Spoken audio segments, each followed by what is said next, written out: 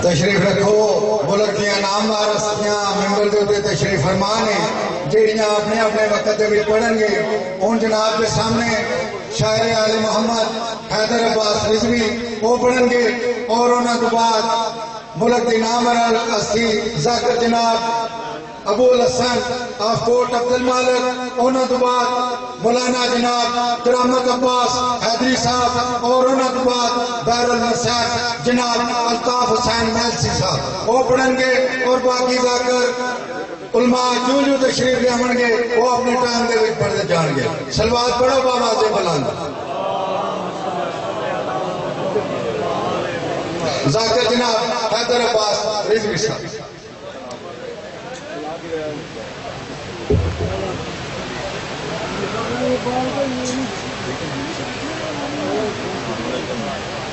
درود مل کے بلند آواز سے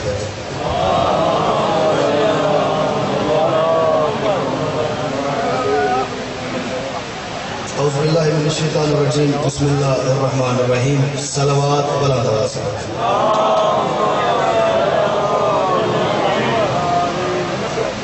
چلو جو جا رہے ہیں ان کی تو خیر ہے، جو بیٹھے ہیں وہ تو صلوات کی تکلیف کرو مل کے بلند آواز سے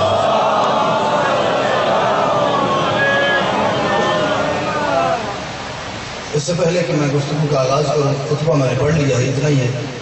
اب جو مومن پیچھے بیٹھے ہو اگر آپ تکلیف کر کے تھوڑا تھوڑا آگے آ جائیں، تو جو جا رہے ہیں ان کو بھی آسانی ہو جائے گی۔ اپنی اپنی دعاؤں کی قبولیت کے لیے ایک ایک قدم آگے بھی آتے جائیں اور سلوات کی تلاوت پہ فرماتے رہیں اجازت ہے؟ میں بغیر کوئی لمحہ ضائع کیے۔ جو جسم رکھتا ہو، کچھ اور ہے جلی تو نہیں۔ میرا خیال ہے، جب سے آپ مجلس سن رہے ہیں، میں بھی اس وقت سے بیٹھا سن رہا ہوں۔ ٹھیک ہے؟ آپ صبح آئے ہیں، میں رات کا آیا بیٹھا۔ وقت اتنا ہے کہ یہ بتانے کا وقت بھی نہیں کہ کتنا وقت ہے۔ تو مجھے کوئی بات رپیٹ نہ کرنی پڑے، جس کو میری بات سمجھ آ رہی ہے وہ سر نہ ہلائے گا، جس کو سمجھ نہیں آ رہی معذرت کے ساتھ وہ سر بھی نہ ہلائے گا جو جسم رکھتا ہو، کچھ اور ہے جلی تو نہیں۔ ہم جسم والے اللہ کے قائل نہیں ہیں۔ ہم اس اللہ کو نہیں مانتے کہ جو دو رخ کی بھوک پیاس مٹانے کے لیے وقت ضرورت اپنی ٹانگ بھی اس میں ڈال دیتا ہے۔ چپ کر گئے۔ ایک سلوات پڑھو، جسے نیند آ رہی ہے، اس کی نیند اڑ جائے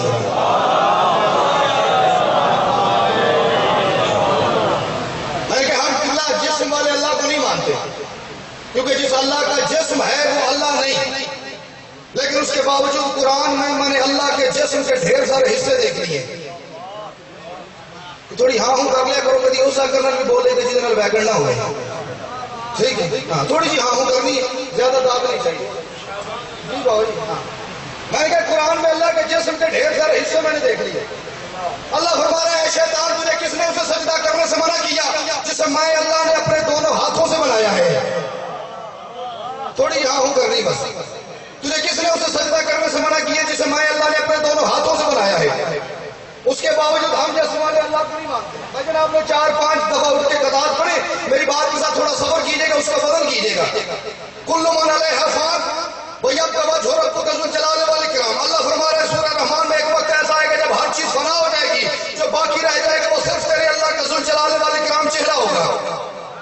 اللہ کا چہرہ بھی نظر آگے۔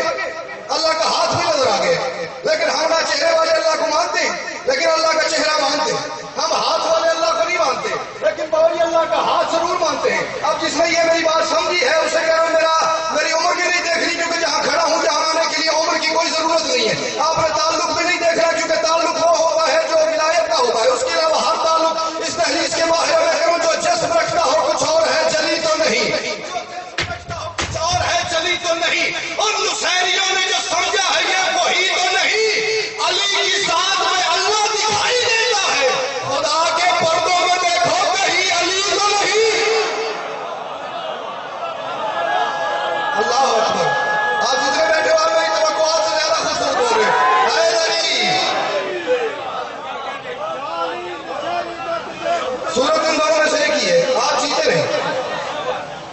گزری جو جس ملک کا ہو کچھ اور ہے جلی تو نہیں۔ تو تجھے خدا کہتے ہیں۔ ہاں۔ وہ بھی اپنے عقیدہ کے مطابق بجائی کہتے ہیں۔ اچھا۔ وہ تو بڑے حد سے آگے مگر ہم بھی تو تجھے دستے خدا کہتے ہیں۔ نعرے پاک دے ڈھائی لاکھ نعرہ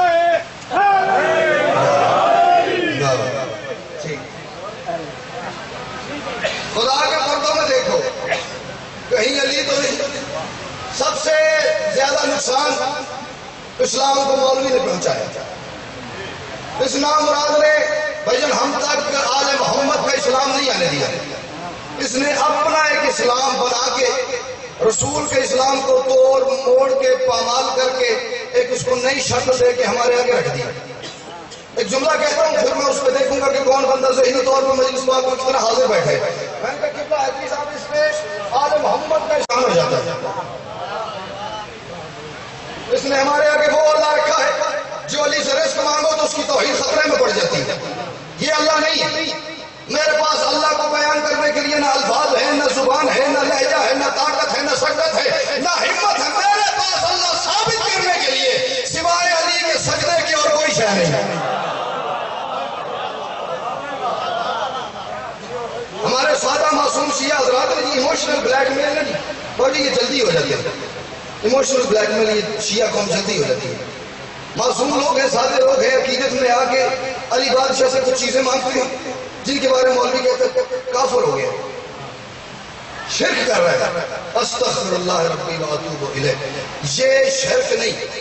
جو چیزیں ہمارے سادہ معصوم لوگ علی بادشاہ سے مانگتے باقی میں نے جہاں پہ گیا ہوں جہاں مجالس میں، محافل میں جشنوں میں جہاں پہ گیا ہوں میں نے مومنوں کو علی بادشاہ کے آگے سوال کرتے دیکھا ہے، علی بادشاہ سے اپنی مرادیں پاتے ہوئے دیکھا ہے، لیکن میں نے ہر بندے کی عقیدت کو پیچھا نہیں کیا، اپنی ایک، اپنا ایک نظریہ، اپنا ایک عقیدہ آپ کے سامنے رکھ رہا ہوں۔ علی بادشاہ سے میں نے ایک دن بیٹھ کے کہا تھا، یا علی، یہ جیون رزق جنت بندگی، اولاد اور دولت۔ یہ جیون رزق جنت بندگی اولاد اور دولت. علی بادشاہ بابی میں نے کہا یہ جیون رزق جنت بندگی اولاد اور دولت. عطا سب کچھ تیرا صدقہ تیرے شاگرد کرتے ہیں. یہ بڑی لمبی ایک بحث ہے، کبھی میں پوری مجلس سے ایک مصرے پہ ہوگی تو میں آپ کو بتاؤں گا جی کہ کس کس نوکر میں کس وقت زندگی دی ہے، کس وقت اولاد دی ہے، کس وقت رزق دی ہے. بس اس کو سپیڈ میں بھی سنو. میں نے یار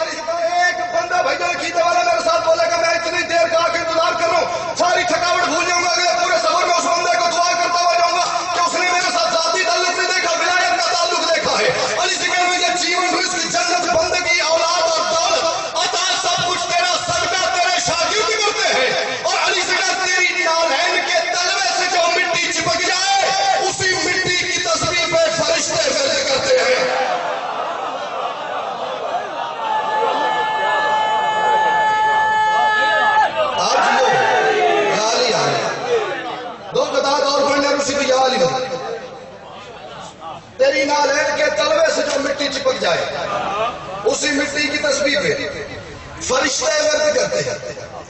آج کل یہ بڑا مسئلہ چلا ہوا ہماری شیعہ قوم کے اندر کہ ہمیں الحمدللہ باہر جا کے لڑنے کی ضرورت ہی نہیں۔ گھر میں اتنے مسئلے پریشانیاں بن گئی کہ ہم مسائل میں، مشکلات میں، پریشانیوں میں الحمدللہ خود کفیر ہوئے بیٹھے پہلے ہمارے پڑھا صاحب فرما گئے کہ جو بزرگ حضرات ہیں وہ جانتے ہوں گے۔ میرے نانا، جن کا انہوں نے تعارف کرایا ینگ جنریشن شاید میں جانتا جی۔ وہ لوگ تھے جنہوں نے غیروں کو شیعہ کیا۔ آج سال میں ایک غیر شیعہ ہو جائے، بہت بڑی اچیومنٹ ہے، بہت بڑی کامیابی۔ آج ہمیں اپنوں کو شیعہ کرنا پڑتا آج جس گھر پہ علم لگا ہوا ہے، اس گھر کے بندوں سے بحث کر کے انہیں ثابت کرنا پڑتا ہے، علی واجب ہے۔ یہ کرب ہے اندر ہر ذاکر۔ لوگ یہ بات کر رہے یہاں علی آنا چاہیے۔ یہاں علی نہیں آنا چاہیے۔ یہاں واجب ہے، یہاں مستحب ہے، یہاں سنت ہے، یہاں کہہ لو تو ٹھیک ہے۔ یہاں نہ کہو تو بھی ٹھیک ہے۔ کوئی بندہ علی کو اصول دین میں مان رہا ہے، کوئی فروغ دین میں مان رہا ہے۔ میں ہر ماتمی کا، ہر عددار کا، ہر صاحب ولایت کا نالین بردار ہونا، اس کی جوتی سر پہ اٹھانا، اپنے لیے باعث فخر، باعث سے عزت سمجھتا ہوں، جو بندہ ذاتی تعلق کی بات سنتا ہے اس سے بغیروں کے میری ایک منٹ کے لیے دو تین منٹ۔ اور جی آخری چار سے بات ختم ہو گئی میری۔ ٹھیک ہے، میری آخری بات سنو، اسی پہ آپ سوچنا گھر جا کے اس نے بات کیا کی ہے۔ علی اصول دین میں ہے، علی فروغ دین میں ہے، علی آنا چاہیے، علی نہیں آنا چاہیے۔ میں ہر بندہ کی عقیدت کو کہہ رہا ہوں، اپنی عقیدت سوال کے رکھنا، لیکن میرے چار مصر سننا، پھر اس پہ فیصلہ کرنا، اس نے بات کیا کی تھی۔ میں کہہ رہا ہوں، اصول دین ہے، علی نہ فروغ دین حیدر جتنے بیٹھو آپ تو میری طرف کرو۔ اصول دین ہے، علی نہ فروغ دین حیدر میں فقیر ٹائپ آدمی ہوں، اصول دین میں بھی نہیں ہے، علی فروغ دین میں بھی نہیں ہے۔ علی ہے کیا؟ اصول دین ہے، علی نہ فروغ دین حیدر یہ روح دین ہے اسلام جس سے تازہ ہے۔ توجہ بڑی ہے اصول دین ہے علی نہ فرو دین ہے در اصول دین ہے علی نہ فرو دین ہے در اصول دین ہے علی نہ فرو دین ہے در یہ روح دین ہے اسلام جس سے تازہ ہے۔ اور اگر علی کی ولایت نکال دی جائے تو باقی ساری شریعت فقط جنازہ ہے۔